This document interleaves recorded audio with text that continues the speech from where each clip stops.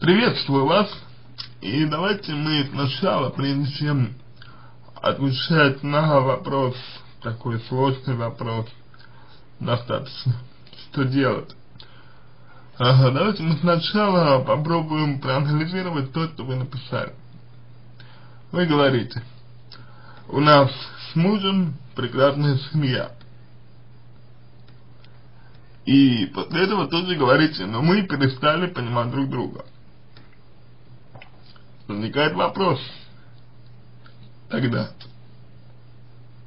а, что в вашем, что в вашем понимании есть прекрасная семья, если вы перестали друг друга понимать? Может быть, это вот э, сама характеристика прекрасной семьи уже накладывает определенный отпечаток и на вашего мужа, и на вас, потому что вам приходится поддерживать вот этот вот образ прекрасной семьи. семьи. Далее. Далее, конечно, э, следует то, что вы друг друга перестали понимать. То есть после того, как вы для себя э, вот осознаете и поймете такие вот вещи, как э, что для вас значит прекра прекрасная семья, после этого можно будет задать себе другой вопрос.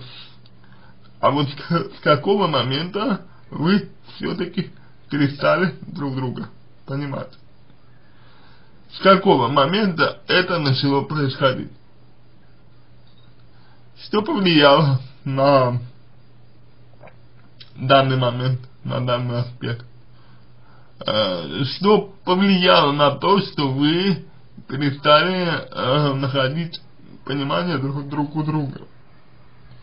Ведь какие-то, наверное, э, какие-то, наверное, факторы, какие-то, наверное, э, события этому предшествовали, если вы перестали друг друга понимать.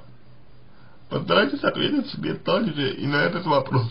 И вот уже в, завис в зависимости от э, ответа на него, вам и станет более понятно, э, куда вам стремиться.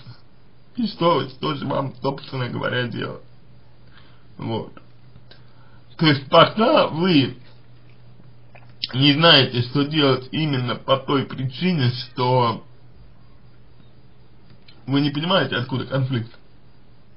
Вы не видите его причин. Ну, по крайней мере, вы не написали э, ни одной причины конфликта. Но они все есть. И понимание друг друга само по себе просто так не исчезает. Поэтому постарайтесь этот момент, пожалуйста, для себя прояснить. Он очень важен. С каждым днем становится все хуже, пишете вы, и здесь ситуация следующая. А, здесь ситуация такова, что э, каждый день становится все хуже. Почему? Потому что вы не решаете проблему как таковую. То есть проблема-то проблема-то есть, но вы ее не решаете. Вы не пытаетесь ее реш, реш, решить. Далее.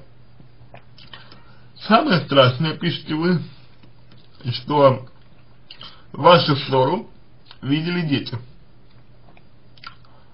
Ну, знаете, здесь э, своего рода такое избегание происходит. То есть вы говорите, дети видели нашу ссору. А кто ссору затеял? Вы с мужем. Дети, не дети видели, видели ссору, а дети стали свидетелем того, как вы с мужем ссорили. Это несколько разные вещи. Потому что во втором случае вы несете ответственность за то, что вы, э, за то, что происходит. И вот это, наверное, самая большая э, проблема, которая мне представляется. Потому, потому что, смотрите, э, складывается такое ощущение, складывается такое э, чувство у меня, у меня, что вы не несете ответственность за то, что происходит. А вы говорите, ну да, вот у нас вроде бы прекрасная семья, ну да, вот э, мы перестали друг друга понимать. Ну да, с каждым э, днем все хуже. Это все понятно. Но вы сами э, не пытаетесь что-то изменить, вы ссоритесь, вы просто отдали течению, отдали течению ссоры. И все. Вы отдали течению конфликта.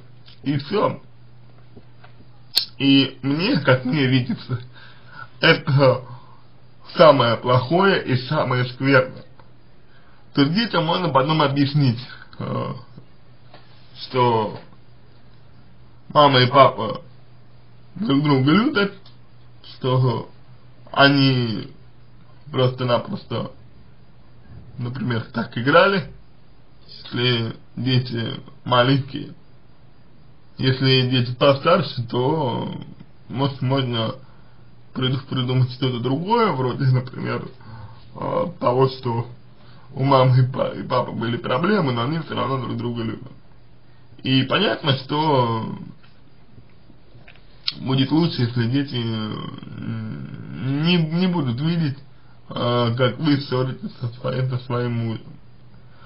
Но чтобы этого добиться, чтобы добиться того, чтобы вы со своим мужем не ссорились, нужно все-таки вот э, на те вопросы, которые, на, на те вопросы, на которые я, которые я поднял э, в своем ответе, вам сперва ответить.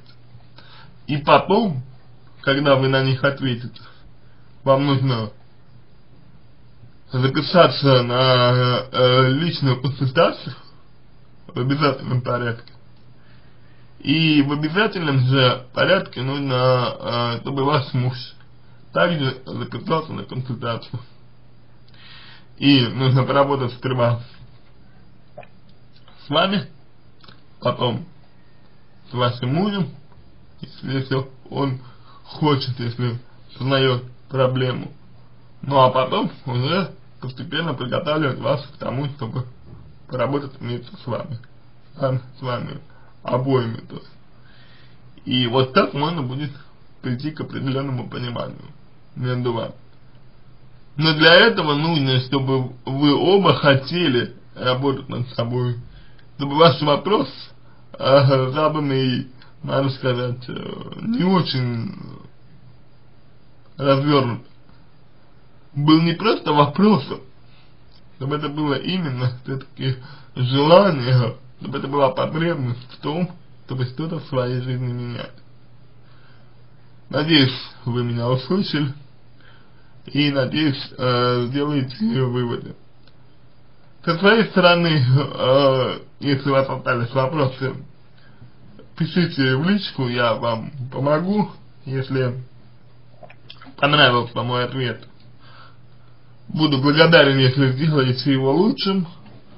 Желаю вам всего доброго, удачи, принятия верного решения и стойкости.